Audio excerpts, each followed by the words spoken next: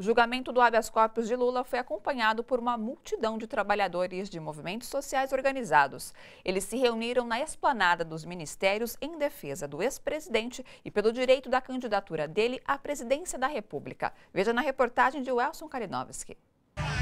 A mobilização em Brasília começou por volta das duas da tarde, debaixo de uma chuva fina, que caiu quase durante todo o dia a esplanada ficou dividida por grades e pela polícia militar.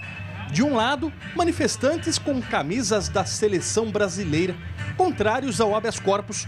Do outro, mais de duas mil pessoas, pelo direito do ex-presidente Lula responder em liberdade ao processo do caso Triplex do Guarujá até a última instância, como determina a Constituição.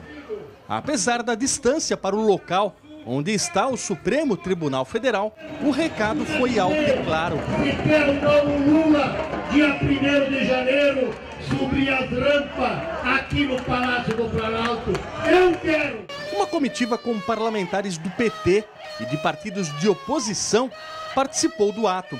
Como já haviam feito de forma oficial, eles voltaram a criticar a manifestação do general Eduardo Vilas Boas, comandante do Exército Brasileiro, que por meio de mídia social teria pressionado o STF a negar o habeas corpus. Os militares tem a sua função constitucional, mas não está entre elas a de opinar sobre política. Ocorre que houve muita especulação que aquilo poderia ser uma pressão indevida, uma ameaça velada ao Supremo Tribunal Federal, ou seja, querendo que a decisão fosse contrária à Constituição Federal.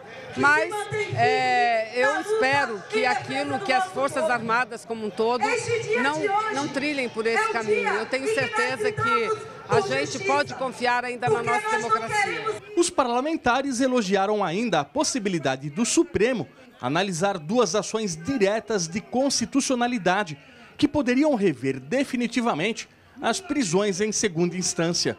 Se essa for a decisão hoje, é a decisão mais correta, que aí nós teremos realmente a posição do Supremo em termos de resguardar a Constituição. E o HC do presidente Lula é importante de igual forma, que é um direito do Lula responder em liberdade. Primeiro, porque ele é inocente. Segundo, porque é isso que a Constituição afirma no inciso 57 do artigo 5. O Constituinte, e eu fui Constituinte, foi claro na sua decisão. A decisão é de que só após transitado, julgado todo o processo, o, o, o, o Código Penal reafirma essa decisão.